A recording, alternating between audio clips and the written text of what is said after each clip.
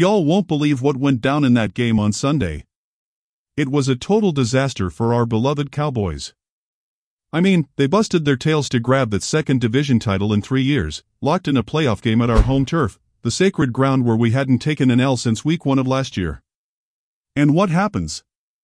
We get straight up embarrassed by the Packers, a bunch of young guns who barely made it to the playoffs. Now, the Cowboys put in some serious work towards the end, tried to make it a close call, and we only lost 48 to 32.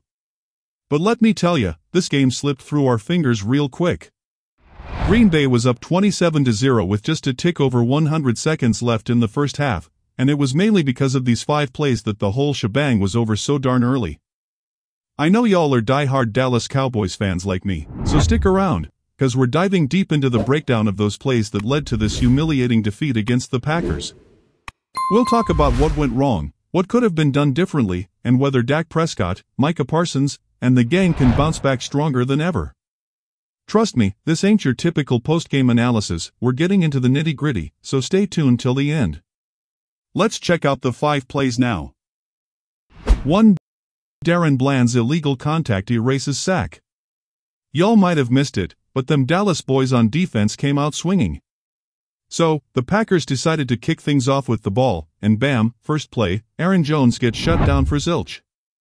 Looked like our defense meant business right from the get-go, y'all. And that wasn't a fluke, either.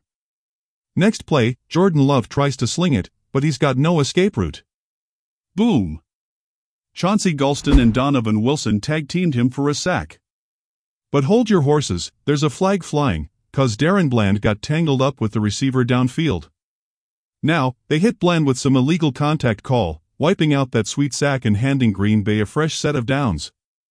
We were this close to a third and long on their first drive, but nope, that penalty messed it all up. Green Bay didn't even face another third down until they punched in that first touchdown, the first of many, mind you.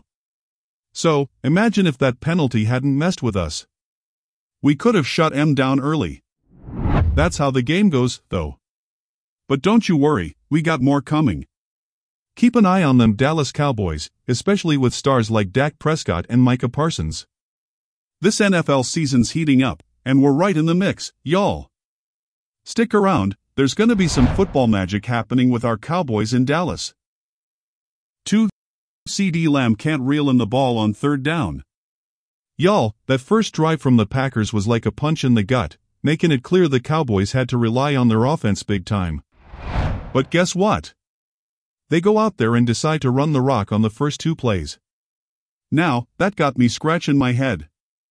Dak Prescott scrambles and moves the chains, but we're quickly staring down another third down. We needed 8 yards, right there at midfield, and let me tell you, it was looking dicey. Dak takes the snap, eyeballs CeeDee Lamb in the middle of the field. Now, Dak's gotta thread the needle round a defender's mitts, but he hits CeeDee's outstretched hand. And guess what? The dude can't haul it in. Shock City. So, our opening offensive drive hits a roadblock, and Bryan Anger trots into punt. That right there's the first domino to fall, setting the stage for a real long night. Dallas Cowboys, man, we gotta shake off that rough start and get back in the game. It's all about bouncing back, just like Dak Prescott slinging those passes and Micah Parsons bringing the heat. 3. Jaire Alexander gets away with contact, picks off Dak Prescott. Alright, y'all, let me break down what went down with them Dallas Cowboys in that game. So, after the defense managed to make Green Bay punt, we had one last chance to keep things tight, you know? But dang, we got pinned back deep in our territory after that punt, making it a real struggle to move that ball. Now, picture this a couple of plays later, it's third down. Prescott's eyeing Brandin Cooks for a slant, but guess what? Jaire Alexander steps up and snags that ball for an interception. Looked like he might have grabbed Cooks' shoulder on the replay, but no flags flew. And then, here's the kicker Packers start at the Dallas 19, and you betcha, touchdown in just three plays. That right there was the moment we knew the Cowboys weren't coming out on top. Now, let me tell you, if you're a true Dallas Cowboys fan or just into NFL football, you gotta stick around till the end of this video. We're talking Dallas Cowboys, we're talking Dak Prescott, we're talking Micah Parsons, the whole shebang. 4. Dak Prescott takes a bad sack on third down. Alright, folks, buckle up cause we got ourselves a wild ride in Dallas. So, picture this, Cowboys down 14 to 0, and things are looking kinda bleak. But hey, hold your horses, cause here comes the comeback trail. So, after that interception fiasco, the Cowboys start kicking it into high gear. Tony Pollard's tearing up the field with a couple of monster runs, and Jake Ferguson pulls off this insane catch that puts them right on the Green Bay 35 yard line. But hold on, we hit a snag, it's third down, and we're sniffing at that sweet field goal range. Dak Prescott's got the ball, eyeball and lamb, but the dude's covered tighter than a bull rider at the rodeo. So, what does Dak do? He tries to make some magic happen, scrambles like a chicken with its head cut off, but there's not a open downfield. Instead of chucking it into the stands, Prescott takes a sack, loses six yards, not ideal, you know? Sure, it might have been a Hail Mary for a field goal, and yeah, we're still down 14 to 0, but hey, those points could have been a game changer. Prescott, getting all tangled up in the pocket, turns a promising drive into a downright disaster. 5. Jordan Love's ridiculous touchdown is a dagger in the Cowboys. Well, dang it, the Cowboys found themselves in a pickle once again, having to lean on their defense, and let me tell you, it ain't been the smoothest ride lately. Yup, same old story against the Packers, they marched down the field, converting a couple of those tricky third downs, and bam, there they were at the Dallas 20 yard line.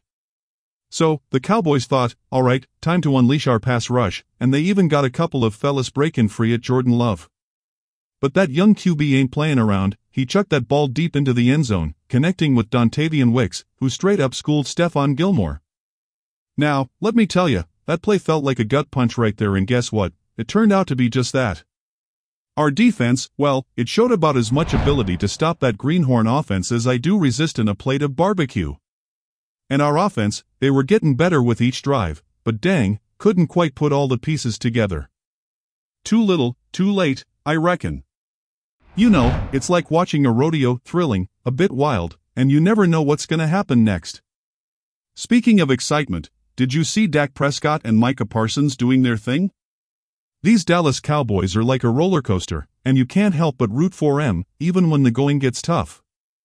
So, folks, grab a seat, cause the Dallas drama in the NFL ain't over yet, and we're just getting started. Alright, folks, let me spill the beans on the latest NFL buzz, all the chatters about what's cooking with the head honcho of the Dallas Cowboys, none other than Mike McCarthy. So, the Dallas Cowboys just wrapped up their fourth season under Coach McCarthy, and boy, was it a real heartbreaker on Sunday.